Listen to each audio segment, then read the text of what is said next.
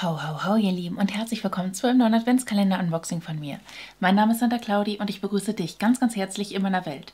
Heute möchte ich gerne mit euch zusammen in den Typology Adventskalender reinschauen. Und wenn du Bock drauf hast, mit mir zusammen hineinzuschauen, dann hol dir was zu essen, hol dir was zu trinken, lehn dich zurück, genieß die Show und viel Spaß mit dem Video. Dieser Adventskalender kostet 189,90 Euro und ist deutlich kleiner, als ich gedacht hätte. Aber wahrscheinlich äh, haben die jetzt nicht voluminöses Verpackungsmaterial genommen. Ich bin einfach gespannt, was hier drin ist. Nicht nur ich stelle ihn vor, sondern auch die liebe Nicole vom Kanal Chiquitas Place. Schaut gerne für eine zweite Meinung bei ihr vorbei. Und ähm, man kann auf diesen Adventskalender jetzt so nicht sparen, weil Typology bietet keine Rabatte an. Aber ich setze euch mal einen Link in die Infobox, denn ich glaube, aktuell hat ähm, Melly so eine Art Goodie-Geschichte. Das heißt, wenn ihr über den Link in der Infobox geht, bekommt ihr irgendwas für Umme mit dazu, was ich ganz nice finde. Und äh, ja, der soll einen Warenwert haben von 406 Euro. Ich habe schon allerhand an dekorativer Kosmetik von Typology bei mir, weil ich schon öfters mit mit denen zusammengearbeitet habe. Das habe ich auch mal davor dahingestellt, dass wenn hier irgendwas drin ist, was ich schon habe, dass ich euch das dann natürlich mit meinen Produkten zeigen kann. Und ähm, ja, ich bin einfach gespannt. Ne? Der ist sehr, sehr schlicht, sehr zurückhaltend und erinnert auch von diesem Teil hierher so ein bisschen an den Jungglück Adventskalender. Finde ich ganz interessant. Und von innen ist er, glaube ich, super, super, super schlicht. Yo. Also das ist jetzt kein Schmucke-Schätzelein, ne? aber Typology ist ja auch eher nicht so dafür bekannt, ähm, mit viel Shishi zu arbeiten. Ganz im Gegenteil, die haben die längste Inhaltsstoff-Blacklist auf dem Markt oder eine der Inhal äh, längsten Inhaltsstoff-Blacklists auf dem Markt und so weiter. Also das ist alles aus Frankreich, es ist super, super hochwertig und so. Und ähm, deswegen stelle ich die Produkte dann einfach hier hinten drauf, dass ihr die sehen könnt. Es gab auch noch eine kleine Information dazu, eben zu, der, zu dem Kunstwerk. Ne? Das muss wohl irgendwie von Erwan oder äh, Irvin Borolek sein. Den Menschen kenne ich nicht, der hat ja auch noch allerhand was zugeschrieben. Dann gab es für mich noch irgendwie als Goodie äh, zwei Taschen mit dazu. Ich glaube, das war einfach, weil man einen bestimmten Bestellwert erreicht hat. Finde ich persönlich immer super. Das ist so ein Jutebeutel, der sogar hier oben Reißverschluss hat. Äh, verwende ich immer sehr gerne. Genauso auch diese Tasche und ähm, das ist eine wunderschöne Reisekosmetiktasche, wenn man möchte. Und solltest auch du Teil der Crew hier werden wollen, dann abonniere doch super gerne meinen Kanal und folge mir auf meiner kleinen, aber feinen Beauty-Reise. Ja, ich glaube wirklich, dass die Boxen hier genau der Größe des Produktes entsprechen. Am 1. Dezember haben wir hier drin ein äh, Serum mit neun Inhaltsstoffen. Das ist das D31 von Typology in 15 Millilitern. Das ist einmal dieses hier. Ich finde es hier tatsächlich ein bisschen schade, dass hier nicht unbedingt draufsteht, welche neuen Inhaltsstoffe hier drin sind. Das heißt übrigens Nine Ingredients, weil hier nur, nur neun Inhaltsstoffe drin sind. Und zwar ist es äh, vor allem das äh, Beta-Glucan, dann äh, pflanzliches Glycerin, gereinigtes Wasser und dann noch so ein bisschen dies, das Ananas. Und ähm, das soll entsprechend die Haut reparieren und beruhigen. Und ich habe mir den Adventskalender eigentlich auch bestellt, um so ein bisschen mehr das Sortiment auszuprobieren. Da lohnt sich eigentlich so ein Adventskalender. Ne? Der 2. Dezember ist jetzt hier. Es ist wirklich sehr gut passend ausgefüllt. Ne? Hier haben wir die D41 drin. Oh, der 9-Ingredient Face Moisturizer ist das. Oh, mit 15 Millilitern. Auch den kannst du morgens und abends anwenden. Weiß ich nicht, upsala. Haben die da extra kleinere Größen für den Adventskalender gemacht? Ähm, das scheint mir doch wirklich eine schöne kleine Reisegröße zu sein. Äh, bei dem Preis ist das mal eine Ansage. Ach, den hatte ich, glaube ich, sogar schon mal in groß, wenn ich mich richtig erinnere. Und der ist vor allem auf Hyaluron-Basis, also so ein richtig schöner Allrounder. Ach, theoretisch kann man den aber auch richtig toll hinstellen, weil jede einzelne Box hat nochmal ihre eigene Einfassung. Das heißt, da fällt dir nichts runter oder so. Das finde ich klasse. Selbstverständlich auch mit dabei ist die Nummer 3. Ah, hier haben wir was drin, was hier schon auch bei mir auf dem, Lift, li, äh, auf dem Tisch steht. Und zwar ist das äh, die T43, das ist das äh, transparente Lippenöl. Kann ich euch wirklich sehr empfehlen. Das pflegt die Lippen wundervoll. Und äh, ja, da habe ich hier meins, dann kann ich euch das mal zeigen. Das habe ich auch schon allerhand verwendet ist ja soweit geruchsneutral, hat einen sehr kleinen Applikator. Also wenn ich mir das auftrage, gehe ich da echt zwei, dreimal rein. Ne? Und ihr seht es auch hier, das ist einfach so aus Öl, klar, ne, ist ja auch ein Lippenöl, aber es pflegt wundervoll die Lippen und ich mag das sehr, sehr gerne. Also große Empfehlung. Hier haben wir die Nummer 4. Hier haben wir was für die Augen mit dabei. Das finde ich richtig toll mit äh, Q10 und Barbarieöl. Mhm, interessant. Gegen feine Linien und Fältchen. Hier haben wir auch tatsächlich 15 Milliliter drin. Das finde ich richtig cool. Das dürfte ja auch eine Originalgröße sein. Und ähm, das wollte ich auch immer schon mal ausprobieren. Finde ich super interessant. Da haben wir im Prinzip dann ja das Coenzym Q10 drin, was ja quasi mit dem hauteigenen Q10 kommuniziert, um die ja, Q10 oder um, um den Zellstoffwechsel anzuregen, ne? damit die Kollagenbildung und so weiter angeregt wird. Mega! Und wenn ich mir das hier hinten jetzt angucke, ist das jetzt auch nicht so viel schöner, als wenn ich den Adventskalender dahingestellt habe, weil das halt super cleane Verpackungen sind. Finde ich jetzt aber egal. Äh, der 5. Dezember, ein Tag vor Nikolaus. Oh, das ist auch interessant. Das sind 15 Milliliter von dem L65. Das ist das äh, Soin Ciblé Imperfection, das Targeting Blemish Treatment mit Bakuchiol und äh, Arbre de AT, irgendein Teeextrakt, auch ganz interessant. Äh, ja, das kannst du dann wahrscheinlich auch punktuell anwenden oder halt wirklich auf äh, deinen entsprechenden Linien und Fältchen im Gesicht. Weil Bakuchiol ist ja irgendwie die pflanzliche Alternative zu Retinol oder so, ne? Und äh, das finde ich sehr, sehr interessant. Vielleicht auch als Serum. Da muss ich einfach mal gucken, wie auch die Konsistenz so ist. Das finde ich spannend. Ich weiß nicht, inwiefern in Frankreich Nikolaus gefeiert wird. Hier habe ich auf jeden Fall den 6. Dezember. Ach witzig, die Lippenölfarbe habe ich noch gar nicht. Das ist Coral Orange. Wie interessant. Mit Vitamin E und Squalanen. Und äh, Squalane sind ja, ja auch Fette, Lipide, wie auch immer, ne? Ähm, die sich ich glaube auch Squalan hat es irgendwie so eine Art von ähm, pflanzliche Kollagenalternative. Legt sich wie eine Schutzschicht halt drauf, damit nichts verdunsten kann. Auch das kann ich euch gerne mal swatchen, dass wir uns die Farbe mal angucken.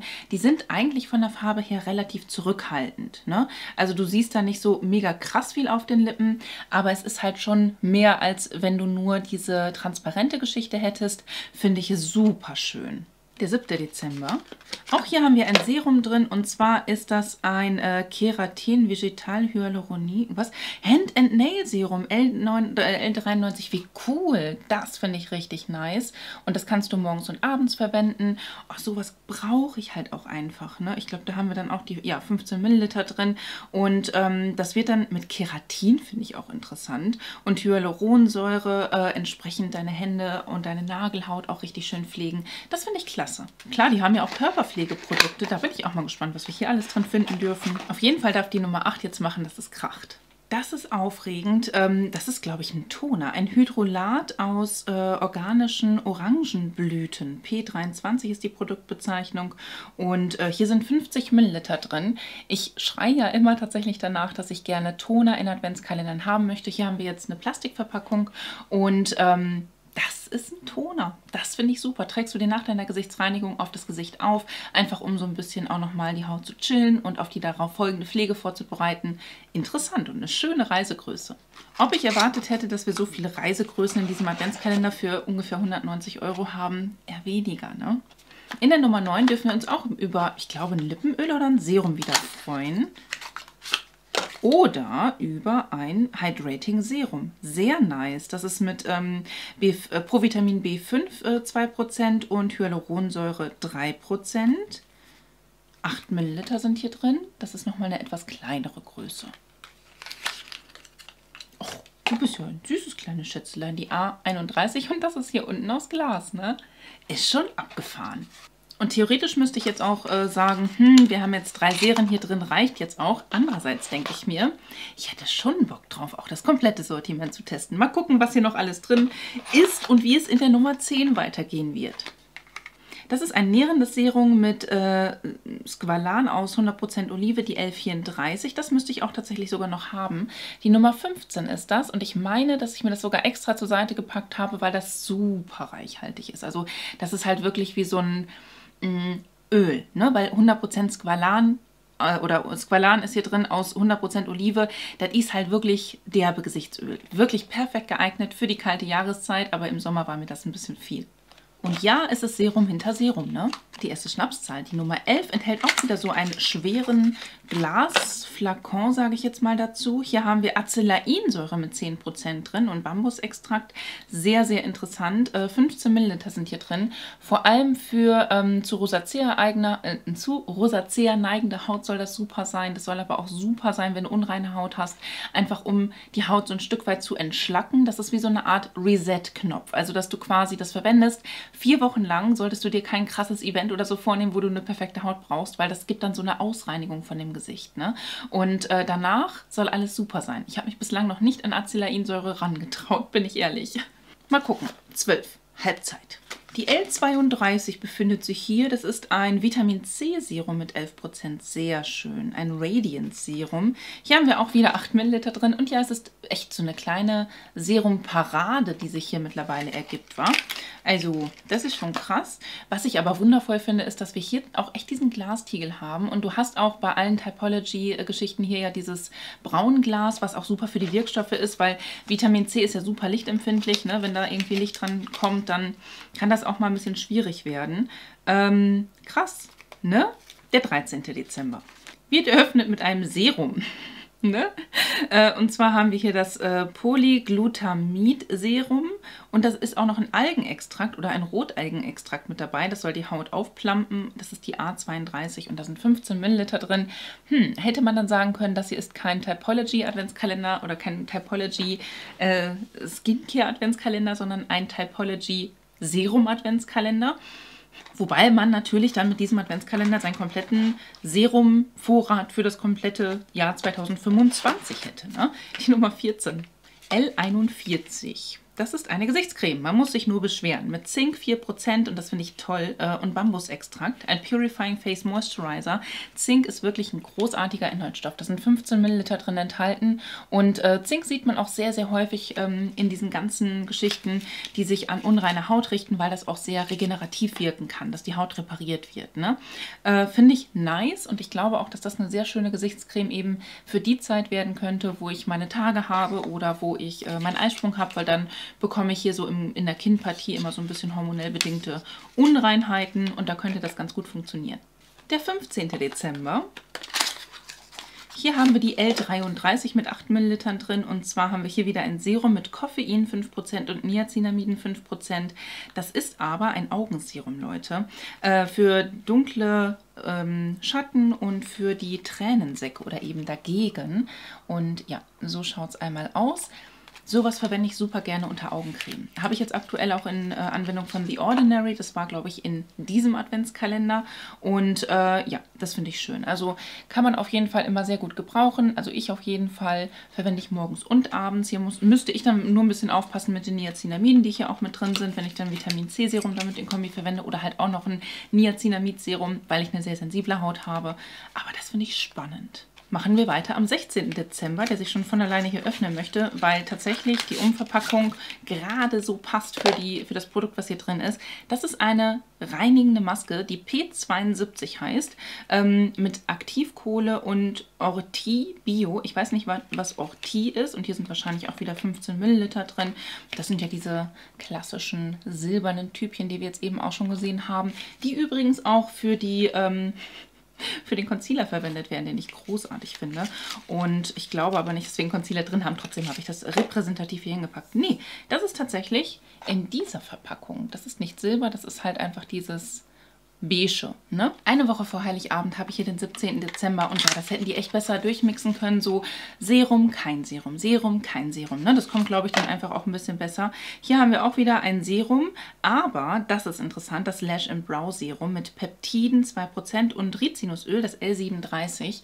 Sowas empfehle ich auch immer wieder bei Leuten, die zum Beispiel keine Hormone verwenden möchten in ihren Wimpern oder Augenbrauenseren, ähm, weil auf Peptidbasis ist es super und das hier ist eigentlich auch ein echt gutes Preis Preis-Leistungs-Verhältnis, weil hier hast du einfach mal 15 Milliliter drin, da kommst du Ewigkeiten mit aus. Und sowas ist tatsächlich eher so zur Stärkung der Haarfaser gedacht, dass du keinen Haarbruch hast. Ne? Und wenn du was halt jetzt mit Hormonen verwenden würdest, dann ist es dafür da, dass quasi die äh, Wimpern oder die Augenbrauen äh, in ihrer Wurzel festgehalten werden. So wirkt es quasi mit Hormonen. Und wenn es auf Peptid- oder auf Ölbasis ist, dann ist es eher so zur Haarpflege gedacht, zur Stärkung der Haarfaser. So sagt man das ja. Richtig geil, dass sie das mit reingepackt haben. Also das hätte ich aber auch fast schon in der 6 oder so gesehen. Schauen wir mal weiter, denn jetzt, herzlich willkommen Leute, wir befinden uns schon in der Weihnachtswoche. Ne? Und zum 18. Dezember überrascht uns die L72 eine Lippenmaske. Und zwar mit Ceramiden, was ich sehr, sehr gerne verwende, und Hyaluronsäure. Auch hier sind 15 Milliliter drin, also das ist natürlich super abgefahren. Ne? Solche Produkte sind dann in Full Size mit drin und äh, andere dann halt in kleiner. Aber ganz ehrlich, die mussten natürlich auch gucken, ne? wie, wie können die mit dem Platz haushalten und so weiter, dass halt auch wirklich dann die Transport Kosten, die Transportbedingungen so niedrig wie möglich gehalten werden. Ähm, Finde ich wirklich sehr, sehr cool. Sowas würde ich abends oder nachts halt verwenden. Und äh, ja, das finde ich cool. Die Nummer 19. Hier haben wir die P61 drin enthalten. Das ist ein Purifying Botanical Blend. Ein reinigendes Nachtserum. Oh, mit Pfingstrose und Botanical Blend. Jojobaöl, Teebaum, reinigt und regeneriert die Haut, während du schläfst. 100% natürliche Inhaltsstoffe. Das ist spannend, ne? Vor allem in der Zeit, wo ich dann ein bisschen unreine Haut habe. 8 Milliliter sind hier drin. Oder halt wirklich für ölige bis Mischhaut. Man muss immer schauen bei solchen Adventskalendern, dass man halt auch wirklich Produkte mit reinpackt, die so gut wie jeder verwenden kann. Und da wir hier ein Öl haben, was jetzt nicht, nicht, nicht lichtempfindlich ist, haben die jetzt hier auch einfach nur ein Klarglas genommen. Ach krass, ne? Mittlerweile haben wir acht Serien hier drin. Finde ich jetzt interessant. Okay, äh, der 20. Dezember, herzlich willkommen im 20er-Bereich, enthält Serum Nummer 9. Äh, das ist das ähm, äh, mit Ferulasäure 3% und Ashitaba, ein antioxidatives Serum A36 mit 15 Millilitern, also ja, ein Serum, was antioxidativ wirken soll. Ferulasäure ist ja genauso eigentlich wie auch Acelainsäure und Hyaluronsäure jetzt kein chemisches Peeling, ne? Ähm, sondern halt einfach ein Wirkstoff, der das Wort Säure im Namen enthält. Und äh, ja, finde ich interessant. Also das wäre vielleicht so ein Tagserum für mich. Der 21. Dezember.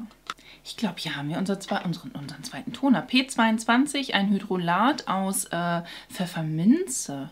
Sehr interessant. 50 Milliliter sind hier drin und das soll halt auch wieder die Haut ähm, klären stelle ich mir sehr spannend vor. Da muss man vielleicht ein bisschen aufpassen, wenn man halt wirklich so offene Stellen im Gesicht hat, dass es nicht irgendwie brennt oder so. Ne? Aber ansonsten, zweiter Toner läuft. Die Nummer 22. Zwei Tage vor Heiligabend und die zweite und letzte Schnapszahl enthält ein Produkt, was ich hier, glaube ich, auch stehen habe. Ist das genau die gleiche Farbe? Muss ich gleich mal gucken. Ich glaube schon. Ähm, das ist nämlich der Concentré Illuminateur Vitamin C und Aloe Vera, die Glow Drops T31. Und da sind 15 Milliliter drin. Verwende ich super gerne als Primer, äh, weil ich es halt gerne sehr, sehr glowy mag. Ne? Das ist halt eine persönliche Präferenz. Es ist, glaube ich, eher als Highlighter gedacht, aber ich bin halt so eine, so eine Wilde. Es kommt halt auch als äh, Tropfen hier so raus. Ne? Und dann kann man sich so so viele Tropfen, wie man haben möchte, halt auf das Gesicht auftragen, in die Foundation mit einmischen, wie auch immer man das gerne haben möchte. Also ne, für mich wäre es halt als Highlighter ein bisschen zu wenig, aber als Primer funktioniert das so gut. Guckt euch diesen Glow an. Das ist wunderschön. Das ist ein richtiger schöner Perlglanz. Nicht zu grob und so, ne? Und äh, sehr, sehr, sehr, sehr nice. Und für mich, wie gesagt, sehr gut als Primer geeignet, weil man halt auch noch diese ganzen schönen ähm, Inhaltsstoffe mit da drin hat, die ja auch pflegend sind. Mag ich. Auch das wäre meiner Meinung nach ein schönes Produkt für eine 24 oder für eine 6 gewesen. Egal, wir gucken jetzt mal weiter. Vielleicht geht hier noch die Party richtig hart ab. Der 23. Dezember, ein Tag vor Heiligabend. Ja, okay, das ist jetzt ein relativ neues Produkt, ne? Die P31 Tan Complexion Botanical Blend. Das ist ein Selbstbräuner und das sollte man morgens verwenden, steht hier tatsächlich drauf. 15 Milliliter sind hier drin enthalten und sowas gibt man sich dann entsprechend auf sein Gesicht, ne? In wenigen, wenigen Tropfen und das kannst du zum Beispiel in deine Tagescreme sehr schön einmischen und dadurch bekommt man dann entsprechend einen schönen Teint über die Zeit halt. Ne? Jetzt kommen wir mal zu 24. Ist sehr, sehr schwer. Oh, da ist meiner hier oben ein bisschen eingedrückt. Und wie groß möchtest du denn bitte sein? Ich muss das mal eben kurz ein bisschen aufschrauben, dass der oben hier sich ein bisschen entspannen kann. Shimmering Dry Oil. Das ist für, für den Körper gedacht mit Vitamin C und fünf verschiedenen ähm, Ölen. Das P90 dürfte auch ein relativ neues Produkt sein. Das kann man natürlich auch als Highlighter verwenden, da muss man aber ein bisschen aufpassen, weil das halt auch wirklich sehr ölig ist. Ne? Ähm, hier haben wir 30 Milliliter drin enthalten. Ein wunderschönes Produkt, aber ich verwende solche Produkte wirklich so selten, dass ich das jetzt nicht unbedingt behalten möchte. Dementsprechend werde ich das auch nicht swatchen. Ich habe schon mal gesehen, ähm, dass es einen wunderschönen Glow geben soll und dass es sehr, sehr elegant aussieht. Vor allem, wenn man sich das so hier so im Dekolleté-Bereich aufträgt, auf die Schlüsselbeine oder so. Oder halt auch wirklich auf die Beine so als Strumpfhosen-Effekt. Mega, mega nice, aber für mich halt jetzt nicht so das Produkt, was ich viel anwende. Schade. Also so viel von den Sachen, die ich habe, waren hier jetzt gar nicht drin enthalten. Ne? Ich hätte hier vielleicht auch vermutet, dass sie so ein bisschen dekorative Kosmetik reinmachen. Die haben ja zum Beispiel eine Mascara, die haben auch ein Puder, das hätten die reinmachen können. Wie gesagt, auch die Gesichtsreinigungsprodukte hätten die gerne mit reingeben können. Da haben die ganz tolle Sachen das ist jetzt hier einmal die Auswahl. Ich finde, wir haben super viele Serien. Wenn man immer schon mal scharf drauf war, ganz viele Serien von denen auszuprobieren, wäre das auf jeden Fall mal eine gute Möglichkeit. Ähm, ansonsten hat man so ein paar Schritte von der Skincare-Routine. Man muss ein bisschen aufpassen, weil nicht jedes Produkt ist auch wirklich für jeden Hauttypen richtig gut geeignet. Da würde ich mich mir erstmal ein bisschen reinlesen, bevor ich das einfach wild aufs Gesicht geben würde. Ähm, aber ansonsten haben wir hier eigentlich einen guten Einblick in das Sortiment von Typology. Kann man sich definitiv angucken, sofern man halt auch wirklich so ein krasser Skincare Junkie ist, dass man auch so viele Serien in einem Adventskalender finden möchte. Ne? Also für mich persönlich ist es jetzt ein guter Adventskalender, weil ich auch einfach so die Möglichkeit habe, noch mehr von meinem Kooperationspartner eben zu testen. Ähm, aber ich weiß nicht, ob das so ein guter Adventskalender ist, den man so blind verschenken würde, ohne dass man halt wirklich weiß, was möchte die Person, der ich den Adventskalender schenke eigentlich. Ähm, aber ich glaube, so um den ganzen Flow kennenzulernen, ist es, glaube ich, gar nicht so verkehrt. Wie seht ihr das? Schreibt mir das gerne mal in die Kommentare. Da können wir uns gerne mal austauschen. Und dann wäre es das hier schon wieder von mir gewesen. Wenn es dir hier gefallen hat, wäre ein Däumchen ein Träumchen. Ansonsten wünsche ich dir einen wunderschönen Tag, einen wunderschönen Abend. Fühl dich ganz doll gedrückt von mir. Lass es dir gut gehen und hoffentlich bis zum nächsten Mal. Ciao.